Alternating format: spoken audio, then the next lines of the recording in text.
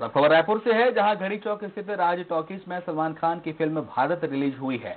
Film को देखने के लिए बड़ी संख्या में दर्शक भी पहुँचे, लेकिन सिनेमा हॉल में अव्यवस्थाओं का जमावड़ा देखकर लोगों ने सिनेमा हॉल में ही जमकर हंगामा किया और प्रबंधक पर भड़क उठे।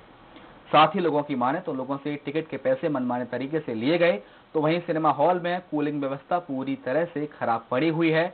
इधर टॉकीज के मैनेजर का कहना है कि ऐसी एसी खराब होने के चलते दर्शकों को काफ़ी परेशानी हुई। हमने टिकट पर सील लगाकर दे दिया है।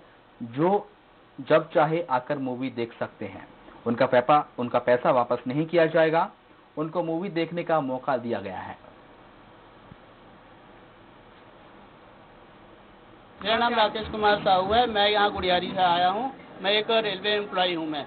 और मुझे आज छुट्टी मिला है। मैं इसलिए आज देखने के लिए यहाँ पर आया हूँ।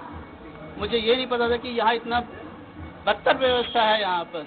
अगर यही व्यवस्था रहेगा तो मैं तो सबको यही बोलूँगा कि यहाँ कभी पिक्चर देखना ना है भले आप पचास रुपए ज़्यादा खर्चा करें मॉल में जाके देखिए। नहीं, इसको तो आपको स्वयं देखना पड़ेगा। फोर्टी सेवन टेम्परेचर है मार्केट बाहर भी पिक्चर में भीड़ ज़्यादा है। ठीक है?